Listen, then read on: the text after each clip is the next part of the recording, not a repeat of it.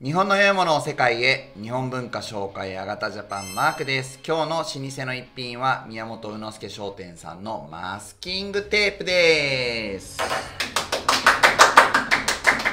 宮本宇之助商店さんは文久元年1861年創業の浅草のですね太鼓司の流れを組む祭礼用具とかを取り扱っておられる老舗さんでございます。これ可愛いんですよ。めちゃくちゃ可愛い。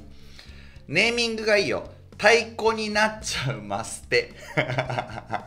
こっちはあの宮本マスキングテープでこれあの宇之助さんのねところの柄をいろいろ乗っけてるやつで、まあ、これはこれであの紺色もねあの宮本宇之助さんの象徴的なカラーなんで。上があの、えー、宇之助柄のマステですね。下がこの太鼓になっちゃう。わかるこれ？この太鼓のあのカンカラカッカってやるあの黒いとこあるでしょ？あのこれがだから太鼓になっちゃうマスキングテープっていうのはこっちなんですよね。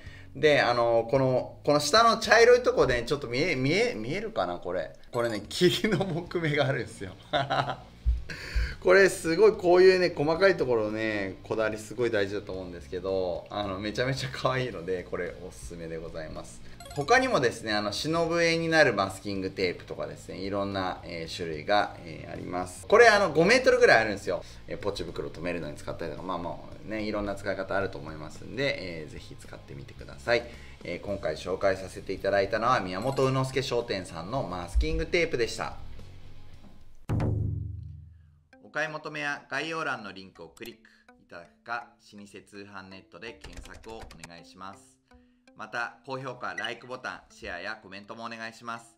日本の良いものを世界へ、伝統の良いものを現代へ。博多ジャパン登録よろしくお願いします。マークでした。